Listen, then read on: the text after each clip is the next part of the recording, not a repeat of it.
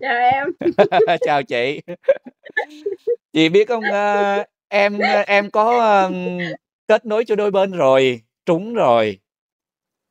Dạ, rất là chúc mừng. Vừa thấy hình là hả, vừa thấy hình là chị thấy hả, trời ơi, sao cái thằng này hả, nó nói tiếng Pháp mà sao nó giống ông nội nó quá. Cái ông xã chị mới nói: "Ủa, ông nội nó là ai mà em biết, em chưa có coi mà sao em biết?"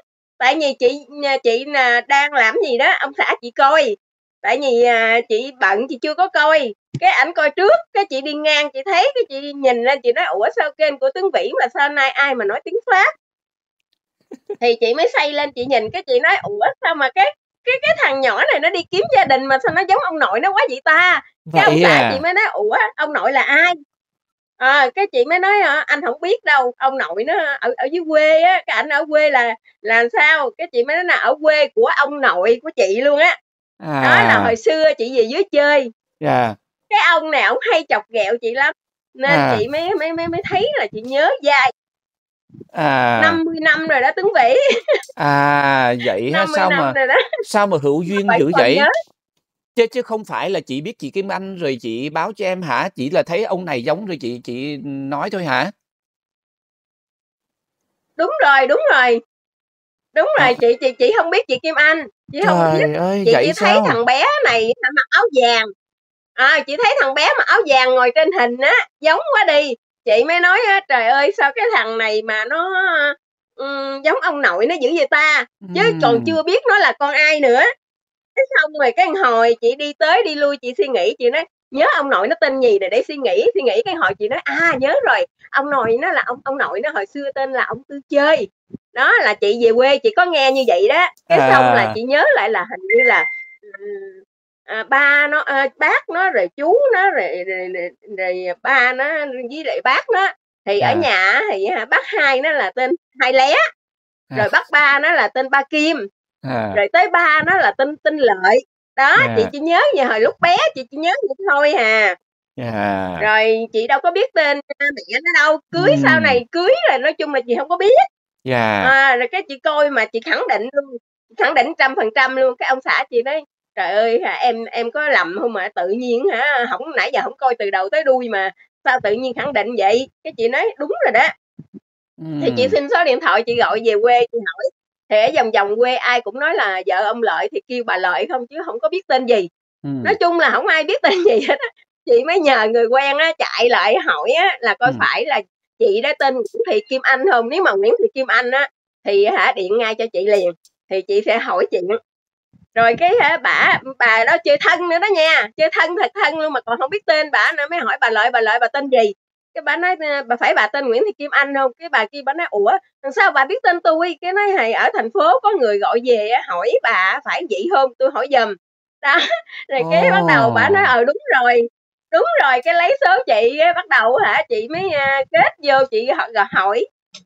Chị hỏi Ừm. xong rồi cái nói: "Ờ, đúng rồi." Rồi bắt đầu chị chị mới mới điện em là đúng trăm phần trăm luôn. Chị chị cho em chia sẻ chút xíu nha, chị chị cho em nói lên cái quan điểm của em chút xíu nè. Đầu tiên đó, chị báo tới cho em, nói là chị biết chị Nguyễn Thị Kim Anh này, thì em cứ nghĩ rằng đó Ờ. là do cái người mà cung cấp địa chỉ của chị Nguyễn Thị Kim Anh này ở dưới ấp Trung, ở dưới Cần Duộc á, thì chị có cái mối quan hệ chị quen biết thì chị mới mới biết là chị Kim Anh có liên quan đến câu chuyện này. Chứ em không hề nghĩ rằng là chị thấy cái em ở Pháp giống ông nội nó, mà chị lần ra đâu. Thật sự là cái này là hết sức là bất ngờ luôn, mà phải nói là hữu duyên đó chị. Trời ơi, em hổng nghĩ Trời luôn á chị. Trời ơi! Trời ơi, Tuấn Vĩ biết hả, chị coi hoài, chị coi suốt mà đều cái kiểu như chị hổng có được coi ban ngày, hổng có được À. coi giờ này nữa, coi buổi tối không à. Còn Yeah. ông xã chị á thì ảnh ảnh giờ này ảnh rảnh cái ảnh nằm ảnh coi, hoặc là trưa ảnh nghỉ trưa ảnh rảnh ảnh coi. Cái hả, tự nhiên hả, chị đi thoáng ngang qua vậy nè, cái chị nhìn nghe nói tiếng Pháp, tại vì thường thường Yeah. kênh của em là tiếng Việt, hôm nay nghe tiếng Pháp, cái chị mới Yeah. ngước lên chị nhìn, cái chị nói: "Ôi trời ơi, anh ơi, sao cái thằng này nó giống cái ông dưới quê quá vậy?" Cái ảnh nói: "Trời, trời, chưa coi nãy giờ tự nhiên đi ngang mà nói nói nói tào lao vậy." Ông xã chị còn nói vậy đó. Dạ. Mà mà chị thấy mà mà em thấy hả, tự nhiên cái hả, ừm, tự tự nhiên mà hổng biết làm sao mà tự nhiên chị đi ngang chị nhìn, mà nghĩ là em có nghĩ rằng bốn mươi mấy, 50 năm rồi mà ai mà nhận ra ông Dạ. nội với cháu đâu. Đó, em đang còn thắc mắc cái chỗ đó đó chị. Em còn thắc mắc đó, chị chị nói không biết là chị có nói bằng cái cái thực sự hay không? Hay là chị nói mang tính là mang máng thôi, rồi chị biết địa chỉ thì chị nói mang máng thôi, chứ tự dưng bây giờ cái đứa đứa cháu mới có hai mấy tuổi, mà ông nội thì đã cách đây chắc là cũng phải mấy chục năm trước rồi, làm sao mà chị hình dung ra được hai khuôn mặt mà chị nói giống thì Ờ. thì em không dám cãi lời chị cái điều đó, chị chị nói thì em chỉ có nghe thôi. Tuy nhiên thì để mà kết nối được á, thì là chị báo tin cho em bất cứ trong trường hợp nào mà miễn là đúng người thì cái điều đó là cái điều cũng phước cho gia đình và đó là một cái thành công cho chương trình. Em không có quan trọng là chỉ biết trong trường hợp nào, ờ, trường hợp nào cũng đáng quý hết. Ờ. Nhưng mà nhưng mà ý em muốn nói đây là em hơi thấy lạ lùng ở cái chỗ là đứa cháu như em vừa giải thích đó, ông nội đó cũng cách đây cái cả mấy chục năm rồi mà làm sao mà, nhìn hai gương mặt mà thấy giống được mà chị báo cho em. Mà nếu mà quả thực là vậy thì đó là coi như cái sự đưa đẩy rồi đó, ờ, một cái sự cái duyên của gia đình đã đến rồi đó. À, mà mà mà chị nói em cái điều này nè, tại sao mà chị cũng biết ba nó mà chị hổng nói giống ba nó mà chị nói giống ông nội, ông xã À. chị mới ngạc nhiên vậy đó. Mà À. mà ông ông hồi xưa là hồi xưa là ba nó là cỡ chạng chị, đó, nên chị ở thành phố chị về quê cái ba nó nói ở trần mặc quần đùi nữa, cái nói, a, a: "Ê, con bé này ở đâu mà về thấy, a, xinh gái quá." Ừm. Cái hả, người bà con của chị mới nói: "Ờ, con nhỏ đó nó con của ông đó, ông đó ở thành phố về đó, a, cái này kia kia nọ" vậy đó. Cái mình cũng, a, thì giống như người ở quê người ta hiếu khách, người ta hỏi thăm thì thôi mình cũng chào hỏi lịch sự thôi chứ hổng nghĩ gì. Yeah. Đó, nhưng mà có một cái là ông ông nội ông nội của của bé này á, là giống như ổng lại ổng mua đồ ở cái nhà bà con chị á, cái ổng thấy chị thì, như, mình thấy người lớn thì mình cúi đầu mình khoanh tay mình chào thôi chứ mình hổng hổng có nghĩ là cái gì hết, tại vì cái quán bán bán tạp hóa mà em. Mà Yeah. cái, kiểu, ổng thấy mình ngoan, biết hông? Ổng lại ổng mới dò đầu mình, ổng nói: Ừm. "Trời, con nhà ai mà ngoan quá, tui đi mua đồ mà nó cũng hả hả khoanh tay nó chào tui." Đó, thì mình cha mẹ mình dạy sao thì mình gặp người lớn thì mình phải thưa phải chào thôi. Yeah. Thì từ cái chỗ đó, cái, kiểu như, mình thấy ổng nói chuyện hài hước quá đi, cái mình hay nhìn mình để ý ổng, mà Yeah. mình hay nghiêng mình để ý ổng, phải hông? Thì, à, ổng nói chuyện, hài dữ lắm, rồi cái có cái mụt ruồi ngay chân mày nữa, thành ra chị mới nói: "Trời cái ông ổng nói chuyện hài mà ổng có mụt ruồi bự ngay chân mày quá ta." Chỉ Yeah. nói vậy thôi mà bây giờ ờ, tự nhiên nhận được. Ai Yeah. mà em em em nghĩ sao chị còn bây giờ chị nằm nghĩ á, chị còn hông nghĩ tới là tại sao mình mình khẳng định con cháu ông đó ta, tự nhiên mình đâu có bà con thân thiết gì đâu mà tự nhiên mình mình nhớ cái ông đó mà mình nói vậy. Yeah, mà chị Tân Dĩ ngạc nhiên hông? E em ngạc nhiên mà mà chị nè, là là em Kim Hoàng đó, nó giống Thắng nha, giống Thắng, con của của con của của cô cô Kim Anh đó. Và khi mà Thắng đưa cái tấm hình của thằng Thắng đưa cái tấm hình của ba nó lên á, thì, Kim Hoàng này cũng giống ba nó nữa. Giống ông nội thì em hông biết mặt ông nội nhưng mà thấy giống ba nó, À. giống ba nó lắm. Cho nên là em nghĩ là đây À. thì là khả cho chị nói câu khả khả năng trúng là là là 8-90% rồi, khó mà trật lắm. Bởi vì, ừm, thứ nhất là thông tin trùng khớp nè, thứ hai nữa là nhìn cái, ơ, hình thức, ừm, anh em với cha con giống nhau đó, cho nên là em nghĩ là không sai đâu. Yeah. Rồi rồi em biết sao hông? Cái, chị chị chị còn tả vậy mà Thắng nó giật mình, chị nói á, a, hình như là á hả, a, cái em ở bên nước ngoài á, bên Pháp á, là giống giống giống ông nội nhiều hơn.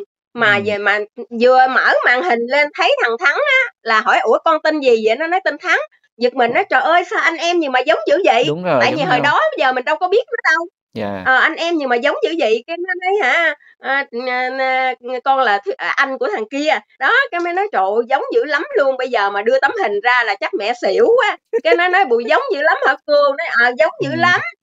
Thì á hả, mình mình hỏi hả, xong rồi cái nó nói: "À, à, con, a, con, giống, à, sao ta, à, ba con á hả, với ông nội con mà mà con giống ông ông nội hơn là giống ba, tại vì ba con cái môi bự hơn." Cái nói: "Ừ hả, đúng rồi, ba con hồi đó cái môi bự lắm." Đó, nhưng mà nhìn hả, là là là là tự nhiên Tuấn Vĩ coi hả, là chị coi chương trình này chị hông bao giờ mà giống như hả, tưởng tượng được luôn á. Tại sao mà Yeah. mấy chục năm mà tự nhiên mình nhìn lên hình là tự nhiên Yeah. mình biết cái cái thằng đó cháu ông đó, con ở Yeah. đó mà cả đời mới gặp lần chứ đâu phải mà chị ở, ơ, xóm đó hàng ngày đâu. Yeah. Bởi vậy cho nên chị biết hông? Đôi khi em nói hổng phải ấy chứ, tự dưng em nghĩ tới em hơi giỡn ốc một chút, là em nghĩ là cái mặt mà Duy Tâm đôi khi có đó, giống như đưa đường dẫn lối đó chị, để đưa đường dẫn lối cho cái người mà có cái cảm nhận mà quen biết với gia đình để biết được mà báo cho cho em á. Chứ chị thấy đó là kể cả em đưa cái địa chỉ lên đó mà cũng đâu có biết được đâu, bởi vậy bởi vì chị Kim Anh này là ít ai biết tên thực của bả lắm, kêu bằng, ờ, chị chị Lợi, chị chị gì đó, kêu bằng tên chồng không à. À, kêu bà Lợi, chị Lợi gì đó, Đúng rồi, ai hỏi, hổng ai yeah. biết hết á. Hổng ai biết, chỉ có khi mà khi mà chị hỏi, ừm, ừm, chị Kim Anh tên trong chứng minh là cái gì thì bả mới khai thôi, chứ còn bình thường nghe nói ít ai biết lắm. Cho nên là kể cả có địa chỉ đó rồi mà nói để mà tìm cũng cũng khó, vì đâu có có tên trong chứng minh đâu. Cho nên là bây giờ thế này chị, gọi là, kể cả là chị biết trong cái trường hợp nào hay là vì lý do gì chị biết thì cái điều đó người ta kết nối được với nhau là cái điều hết sức là đáng quý rồi. Thì nói chuyện đây chúng ta cũng nói cởi mở để nghe, để mình hiểu thêm về cái sự mà trong cái mối, ờ, gọi là, để mà biết được một cái câu chuyện vậy. Trước tiên là em rất là cảm ơn vợ chồng chị đã thường coi chương trình của em để lan tỏa mạnh để mà rồi biết được những trường hợp như thế này. Và hôm trước thì em cũng, ờ, có hứa là bữa nào nếu mà trùng huyết thống thì là em, xin trích, cái tiền túi ra là hỗ trợ cho mỗi trường hợp như vậy là 5.000.000 đồng để mà nhằm mục tiêu là khích lệ cho người báo tin. Thì bữa nào, ờ, xét nghiệm ADN đâu đó, rồi bữa nào, đ đâu đó rồi em em, có chút quà để em gửi chị ha. Thì hôm nay á thì là nói chung là em xác nhận đúng thông tin thì em cũng gọi chị để, ờ, báo cho chị để chị vui. Dạ, Yeah. trời ơi, mấy bữa nay mừng tưng dĩ đi tới đi Yeah. lui cái hả, bấm coi đi coi lại hoài, cái tụi nó nói: "À, đúng rồi, mà mẹ coi đi coi lại hoài vậy." Nói: "Trời ơi, thấy thương quá, tự nhiên cho hồi bé mà giờ tự Yeah. nhiên cái mình nhìn cái mặt nó hả, đi gì mấy chục năm rồi hả, tự Ừm. nhiên đâu mà nhớ tới ông nội nó mà chỉ vậy chứ." Thiệt á hả, chị cũng hổng biết hả là mẹ tên gì nữa. Đó. À, chị biết không cái thông tin thì em nghĩ là, ừ, chính xác hoàn toàn rồi, có nghĩa là từ từ từ cái mặt giấy tờ nè, rồi cái mặt, gọi là, gọi là, cho con nè, rồi cho đến là năm sinh của người mẹ này cái là trùng khớp hết. À, nhưng mà có một cái á là chị biết đó là ở nước ngoài và trong nước cũng vậy thôi, thì người ta cũng tất cả đó thì là chỉ là, à, nghe người lớn nói lại và những cái thông tin mang tính là nó chưa, xét nghiệm ADN thì người ta vẫn còn có thể có những cái rủi ro xảy ra.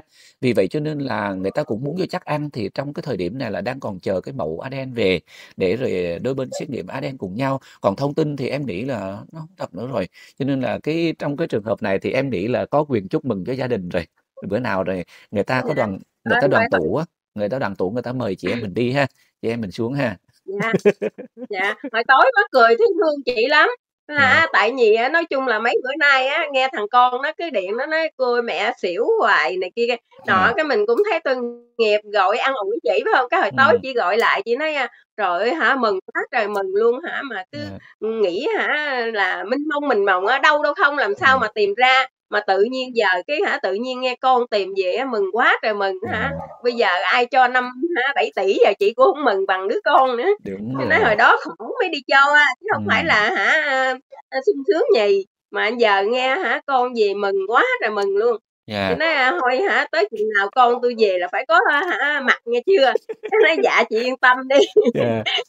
Và chị biết nữa, đặc biệt em thương cái thằng Kim Hoàng này nè, là những cái tấm hình mà cái lúc mà sơ sinh đó, mà cha mẹ ở bên Pháp á, cha mẹ nuôi ở bên Pháp mà xin về mà có chụp được những tấm hình của những cái tuổi sơ sinh này kia đó, là nó in ra nó in ra nó dán đằng sau này nè, có nghĩa nó làm một cái khung luôn, nó làm một cái khung nó in hết ra, nó trân trọng lắm. Cho nên là em thấy nó rất là khao khát để mà tìm về cái cội nguồn, và nó gặp mẹ nó cũng vui lắm, hai vợ chồng vui dữ lắm luôn. Rồi cho đến là Thắng ở nhà cũng vậy, thằng Thắng ở nhà tuy rằng là nó đàn ông nó không có nói nhiều, nhưng mà, ừ, nhìn cái, ừ, cái cái tư cách của nó là nó cũng tha thiết, mà thấy gặp được em nó nó vui lắm. ừ, biết được em nó nó vui lắm á. Ờ, nó nói là "Em hông biết nói gì hơn, em gặp được em em vậy là em vui, mong bữa nào em em nó về đây rồi anh em gặp nhau." Nó cũng nói hông nói nhiều nhưng mà em nhìn được cái, a, cái tâm tư của nó, nên là thấy em còn ghẹo nói bữa nào về anh Thắng đi bắt ếch, ờ, về xào cho ăn. Thắng thì ở đồng mà, ở ruộng mà, cho nên là hay đi bắt ếch. Mẹ nó còn nói thêm câu "Thằng Thắng nó bắt ếch giỏi lắm." Dạ. Đó, rồi rồi cái hả, mà cứ, cứ ai ở nhà ai của nhà cũng nói chị á, nói, a: "Trời ơi hả, à, phải hôm đó mà hả, nói hả hổng đúng đây rồi tội nghiệp người ta." Cái nói hả: "Trời ơi hả, chưa gì hết á, chưa có gặp, chưa có biết tên mẹ nó luôn, vừa thấy nó thôi là nói Ừm, một trăm phần trăm rồi là cháu ông Tư đó rồi chứ hông ai hết." Chị À. khẳng định như vậy luôn mà, mắc cái gì chuyện của người ta, mình chưa có hỏi mà đi dám khẳng định. Không. Vậy đó, À, chứ em em phải chi mà dạ. hả, hỏi rồi khẳng định ha. Dạ, em xin thưa với chị thế này, à, thứ nhất là em em trao đổi với chị, thứ hai nữa là em cũng xin thưa với ở trên cộng đồng. Khi Tuấn Vy đã xác định thì Tuấn Vy có cái cơ sở là Tuấn Vy có xem cái chứng minh nhân dân của chị Nguyễn Thị Kim Anh gửi qua, nó trùng khớp, thông tin mà ở trên giấy của đứa con ở bên Pháp á, là trùng khớp chứ không phải là mình nói bằng cái lời suông. À, đó là, người mẹ sinh năm bao nhiêu rồi cho đến là, à, s có sinh con ở bệnh viện Từ Vũ này kia hay không, rồi có ở chỗ ấp trung đó hay không đó, thì cái đó là Tuấn Vy có trên mặt giấy tờ chứ không phải là chúng ta chỉ nói bằng lời suông. Vì vậy cho nên là Tuấn ơ, ừm, gọi là, có quyền chúc mừng rồi đó. A lô, ừm, có có quyền chúc mừng. Dạ, dạ. À, chị ơi, à, ở bên chị á, bạn nó yếu đó Nói mà hả, mừng quá rồi cái ăn uống cũng hổng yên. Dạ. À, chị, ờ, bên bên chị bạn nó yếu quá là thứ nhất này, thứ hai nữa là em cũng gọi đến cho chị để em báo cái tin mừng như vậy là thông tin nó đã trùng khớp. Rồi, à, bữa nào, chờ xét nghiệm ADN xong rồi em liên hệ với chị lần nữa nha chị nha.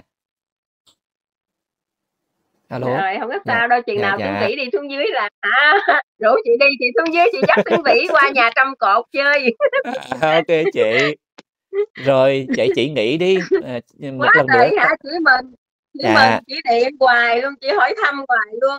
Rồi rồi À. cái vụ mà, nghiệm á Tuấn Vy, chị Dạ. nói là nữa rồi gửi mẫu làm sao, cái thì để nữa đi Tuấn Vy hướng dẫn chị. Cái chị nói: "Rồi chị hổng biết sao?" Nói: "Thì chừng nào chị hông biết thì em lấy em Ừm. em lấy em đem cho, chứ giờ Dạ, sao, biết đúng sao rồi. giờ."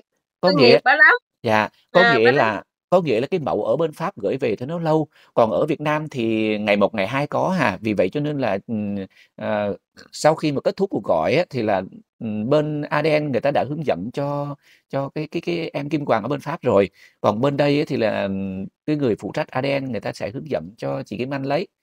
Dạ. Ô Đó, chị cứ nói chị sợ, nói, a: "Chị đừng sợ gì hết á, thì tới chừng đó có người hướng dẫn." Chị nói: "Biết đi đâu giờ?" Nói thật chị đừng có lo, nếu mà hông Dạ. có em giúp chị cho chứ gì đâu mà lo. Cái Dạ. nói hả: "Trời ơi, giờ hả, nghe nói hả, mừng quá trời mừng luôn hả, hổng thử cũng là con rồi mà đều hả, làm theo thứ tự chứ hổng Đúng làm hổng được." rồi, đúng rồi, hả, làm hổng được. nhìn ra là biết liền. Dạ, Ừm. chị biết á là, à, trước đây đã có một trường hợp nha, là trùng thông tin mà cuối cùng xét nghiệm ADN hông ra. Thì, à, để giải thích về cái lý do đó đó, là ví dụ như trước đây, cô Kim Anh cũng có sinh con ở Từ Dũ, cũng có hồ sơ và 4, À. 5 đứa trẻ để chung một một phòng. Rồi sau đó Dạ. khi cái người bên Pháp sinh một đứa con thì người ta vô tình người ta lấy cái hồ sơ của ai đó, người ta đưa cho cái người ở bên Pháp, thì tức là cũng một cháu, một hồ sơ, nhưng mà lấy lộn hồ sơ của người khác. Có thể là như vậy, bởi vì là hôm trước á, là em Hậu ở dưới, Bạc Liêu á, là thông tin trùng, trùng khớp hết hoàn toàn nhưng ADN hổng trùng. À, nhưng mà trong trường hợp À. của, Kim Hoàng thì bởi vì là anh em giống nhau quá, rồi cái hình người Ờ, cha mà cũng mà giống. mà tính mà mà mà em nhìn thấy hông? Em nhìn thấy hông? Thắng nó vừa ngồi vô Dạ. màn hình cái là em thấy là giống liền, phải hông? Giống liền, ờ, cho nên là em nghĩ là Ừm. trong trường hợp này thì chắc hổng trật đâu. Thôi mình cứ chúc mừng để đừng nói xui. À, hông Dạ. mà chị nghĩ là đúng á, tại vì á Dạ. hả, cái câu chuyện này chị hỏi nhỏ chị ở ngoài á, thì chị Dạ. nói là hả, trăm phần trăm rồi hả, là Ừm. con của tui đó, ai khác Dạ, á. Mà nhìn thiệt là nếu mà em, à, ừm, tại vì ông nội hông có hình, chứ nếu mà ông nội có hình hồi xưa chắc đưa lên là em thấy là hả, trăm phần trăm luôn. Ừm, vậy Ông nội, ha? à, cái cái cái thằng cái thằng bé ở bên nước ngoài đó giống ông nội dữ lắm, nên chị mới Dạ. nhận ra đó. Dạ, thôi Đó. thì bây giờ kể cả là có giống hay hổng giống gì chăng nữa thì thông tin trùng khớp vậy là mình cũng mừng rồi. Ờ, rồi cũng Dạ, mong bữa nào có. ADN, ờ, có ADN rồi chúng ta sẽ chúc mừng bữa nha chị nha. Rồi bây giờ đó thì em, lo công việc của em đã, rồi một lần nữa xin cám ơn chị nhiều, bữa nào chúng ta gặp lại. Dạ.